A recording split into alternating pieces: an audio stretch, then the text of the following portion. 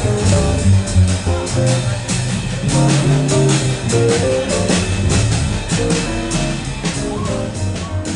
are very honored to have company of Her Royal Highness Crown Princess of Denmark and the Minister of Foreign Affairs, Anders Samuelsen. As Danish architects, we are grateful for the support you're showing us by being here today. We are not going to be talking too much, at least not directly, about architecture as aesthetics.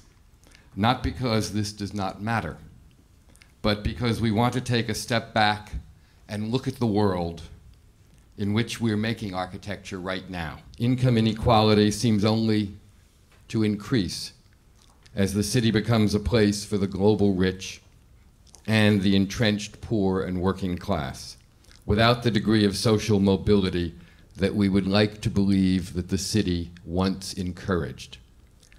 Now, first, is this premise actually correct? Or am I wrong? And second, if it is correct, what can we do about it? the first thing that we can do is levy some sort of taxation on the $150 billion companies that have gotten the tax break and say this is for the schools of New York, this is for the streets of New York, this is for the, the uh, housing of New York, so that they understand these big wealthy corporations that they are part of New York and they owe something to the city that they're they're so happy to be in. In Denmark, I believe people are building buildings. In New York, they're building spreadsheets.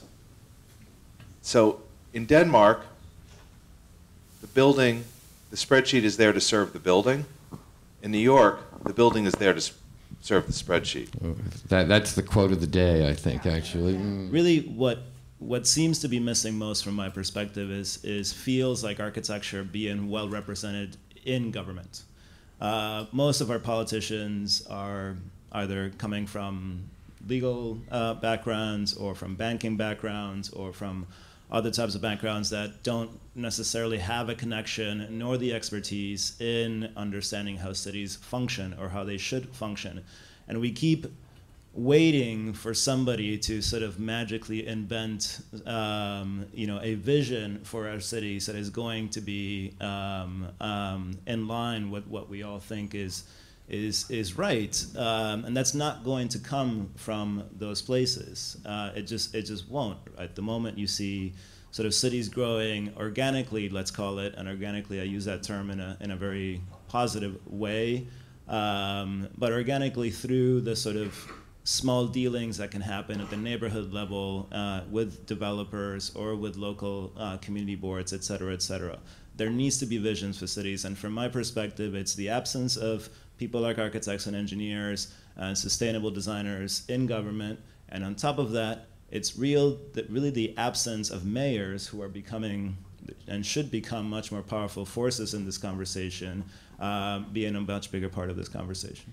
Infrastructure. So uh, in places that have uh, the most opportunity for infrastructure, where the next 50, 60% of the built environment is going to be built. Uh, there's a tremendous opportunity to leapfrog, right? It's already happening. You go from no power to clean power, solar, other, you know, decentralized forms of energy, where you see um, uh, most uh, urbanization happening in a and you used the word organic earlier in the conversation, and I was thinking that is so diplomatic because it's mm-hmm. spontaneous, right? Mm-hmm. As my former boss, Dr. Close, used to say, you know, it's not planned, it's just happening, and that's dangerous because that's creating, that's fueling inequity.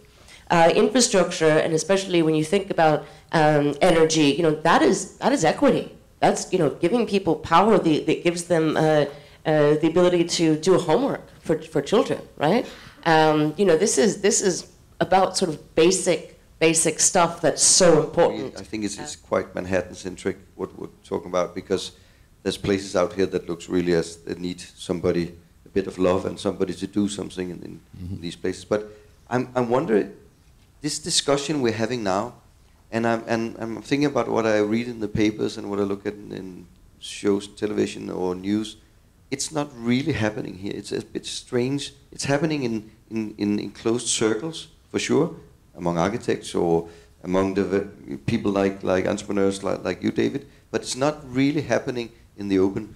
And I wonder if there's a, a kind of um, let's say a much too private discussion about this. You don't dare to get out in the open. Maybe you're against Trump or something. People are saying that, but this is a different story. This is not about one person or a president or anything like that. It's a bigger issue.